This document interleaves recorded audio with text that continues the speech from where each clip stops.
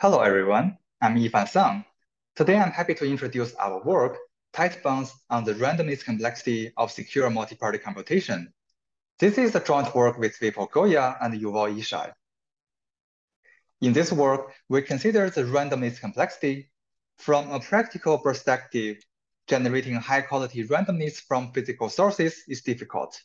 Therefore, in general, we would like to reduce the randomness required in either an algorithm or a protocol as much as possible. From the theoretical perspective, the study of randomness complexity has led to important developments in computer science, such as pseudo-randomness, randomness extraction, and so on. We study the randomness complexity of MPC. We start with the simplest setting of MPC, that is perfect and semi-I security against parties, and computing the XOR function. Later, I will mention extensions to other functions and MPC models.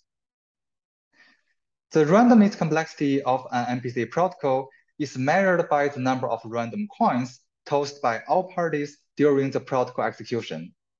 We allow parties to toss different number of random coins in different executions. The randomness complexity refers to the maximum number of random coins tossed in an execution for all possible inputs. The problem of randomness complexity of MPC has been studied by a fairly large body of works, which cover the directions of both lower bound and upper bound. Almost all of these works consider the same simple model as we do. Our research question is to understand how the randomness complexity for computing XOR grows with the number of crowded parties. The best known result for the upper bound is from KM97, where Kushilevitz and Mansour constructed a protocol with randomness complexity out of t squared times log n over t random bits. On the other hand, they also gave a lower bound of omega t random bits. In BDPV99, the authors obtained a lower bound of omega t squared over MST random bits. Then in JR05, the authors showed a lower bound of omega log n random bits for t that is at least 2. On one hand, when t is a constant, the upper bound from KM97 matches the lower bound from JR05. On the other hand, when t is very close to n, say t is equal to n minus a constant, then the upper bound from KM97 matches the lower bound from BDPV99. However, for general t, even if t is equal to n half, there is still a quadratic gap between the known upper bound and the lower bound.